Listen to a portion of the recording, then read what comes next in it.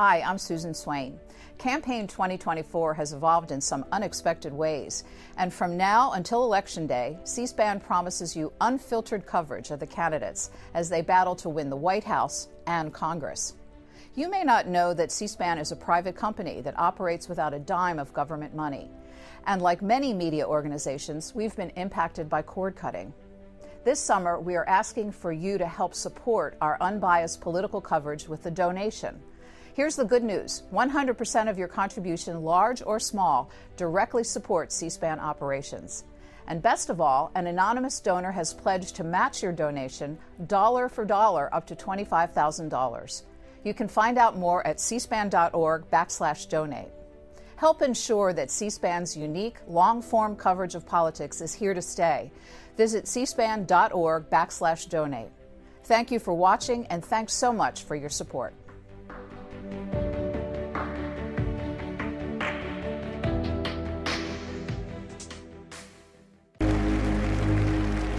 Please welcome Oprah Winfrey.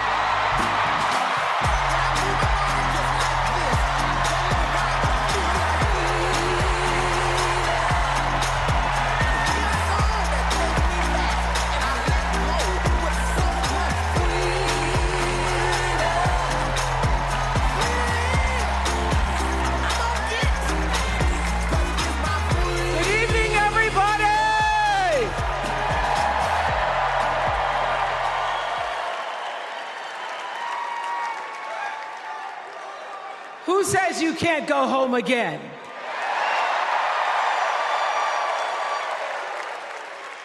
After watching the Obamas last night, that was some epic fire, wasn't it? Some epic fire. We're now so fired up, we can't wait to leave here and do something.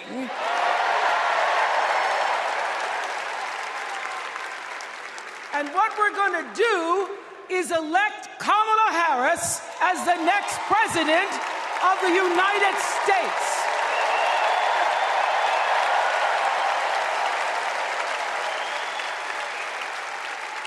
I am so honored to have been asked to speak on tonight's theme about what matters most to me, to you, and all of us Americans freedom. There are people who want you to see our country as a nation of us against them, people who want to scare you, who want to rule you, people who'd have you believe that books are dangerous and assault rifles are safe. That there's a right way to worship and a wrong way to love. People who seek first to divide and then to conquer. But here's the thing when we stand together, it is impossible to conquer us.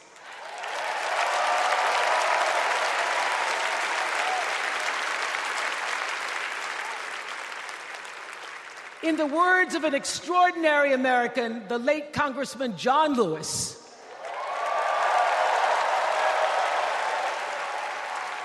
he said, No matter what ship our ancestors arrived on, we are all in the same boat now. Congressman Lewis knew very well how far this country has come because he was one of the brilliant Americans who helped to get us where we are. But he also knew that the work is not done. The work will never be done because freedom isn't free. America is an ongoing project. It requires commitment. It requires being open to the hard work and the heart work of democracy. And every now and then, it requires standing up to life's bullies.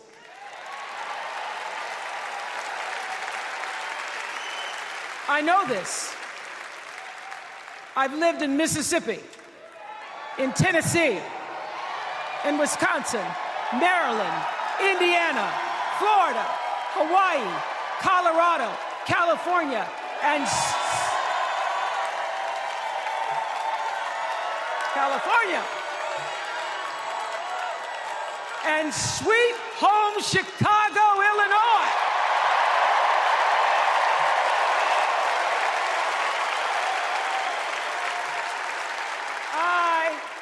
actually traveled this country from the redwood forest, love those redwoods, to the Gulf Stream waters. I've seen racism and sexism and income inequality and division. I've not only seen it, at times I've been on the receiving end of it. But more often than not, what I've witnessed and experienced are human beings, both conservative and liberal, who may not agree with each other, but who'd still help you in a heartbeat if you were in trouble. These are the people who make me proud to say that I am an American.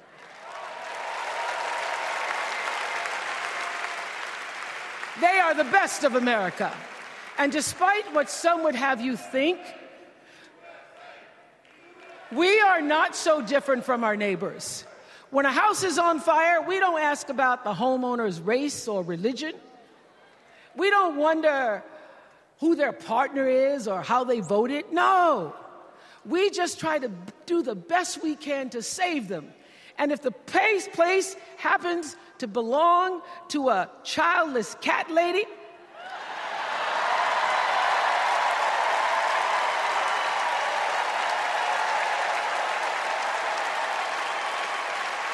Well, we try to get that cat out too.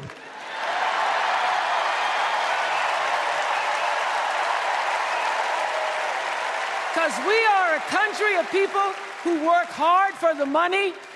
We wish our brothers and sisters well and we pray for peace. We know all the old tricks and tropes that are designed to distract us from what actually matters, but we are beyond ridiculous tweets and lies and foolery. These are complicated times, people, and they require adult conversation. And I welcome those conversations because civilized debate is vital to democracy and it is the best of America. Now, over the last couple of nights, we have all seen brave people walk onto this stage and share their most private pain.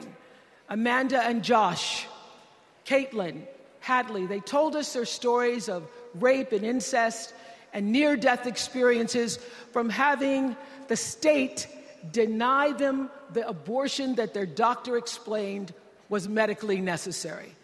And they've told us these things for one reason and that is to keep what happened to them from happening to anybody else. Because if you do not have autonomy over this, over this, if you cannot control when and how you choose to bring your children into this world and how they are raised and supported, there is no American dream.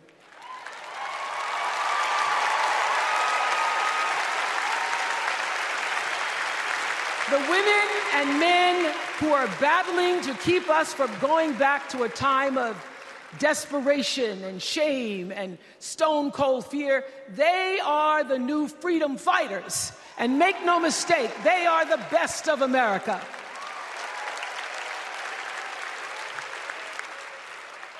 I want to talk now about somebody who's not with us tonight. Tessie Prevost Williams was born in New Orleans not long after the Supreme Court ruled that segregated public schools were unconstitutional. That was in 1954, same year I was born. But I didn't have to head to first grade at the all white McDonough 19 school with a U.S. Marshal by my side, like Tessie did. And when I got to school, the building wasn't empty like it was for Tessie. You see, rather than allowing McDonough to be integrated, parents pulled their kids out of the school, leaving only Tessie and two other little black girls, Gail Etienne and Leona Tate, to sit in a classroom with the windows papered over to block snipers from attacking their six year old bodies. Tessie passed away six weeks ago. And I tell this story to honor her tonight because she.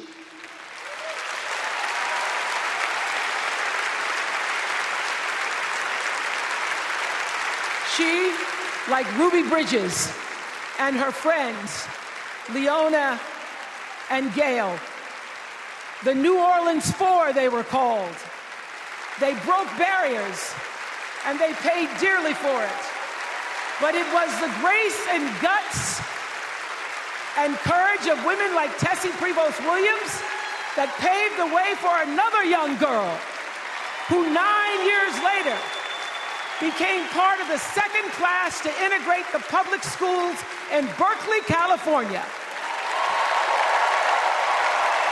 And it seems to me that at school and at home, somebody did a beautiful job of showing this young girl how to challenge the people at the top and empower the people at the bottom. They showed her how to look at the world and see not just what is, but what can be. They instilled in her a passion for justice and freedom and the glorious fighting spirit necessary to pursue that passion.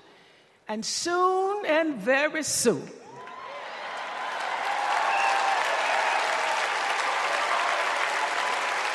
soon and very soon, we're going to be teaching our daughters and sons about how this child of an Indian mother and a Jamaican father, two idealistic, energetic immigrants, immigrants, how this child grew up to become the 47th president of the United States.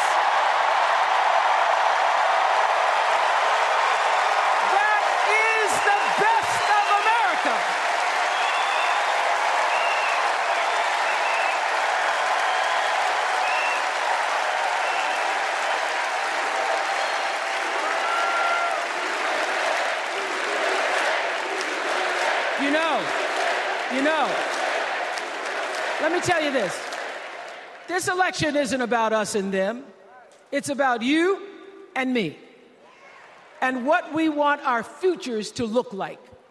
There are choices to be made when we cast our ballot. Now, there's a certain candidate that says if we just go to the polls this one time, that we'll never have to do it again. Well, you know what?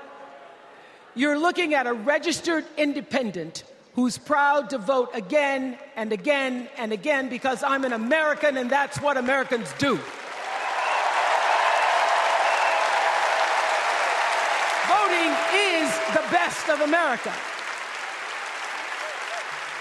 And I have always, since I was eligible to vote, I've always voted my values.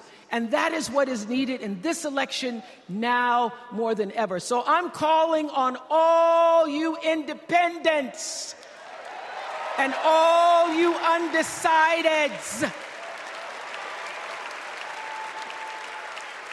You know this is true. You know I'm telling you the truth that values and character matter most of all.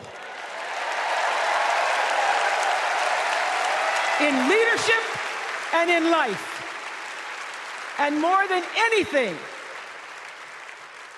you know this is true that decency and respect are on the ballot in 2024.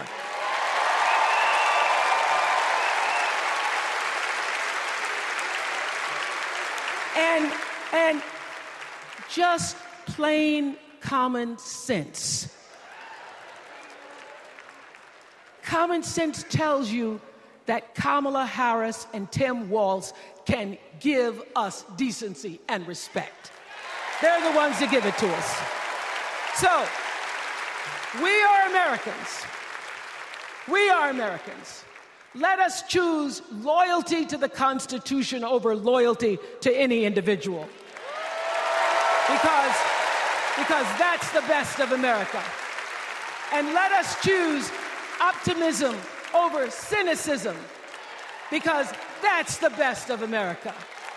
And let us choose inclusion over retribution. Let us choose common sense over nonsense.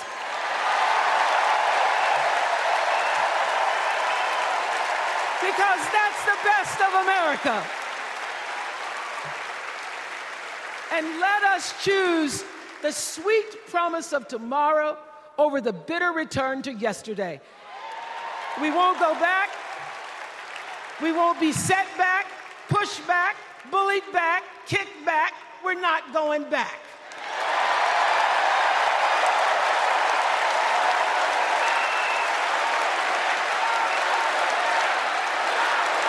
Not going back. We're not. So,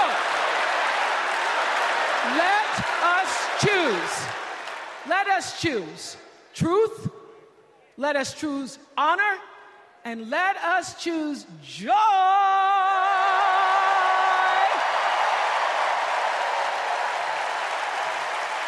Because that's the best of America. But more than anything else, let us choose freedom. Why? Because that's the best of America. We're all Americans, and together, let's all choose Kamala Harris.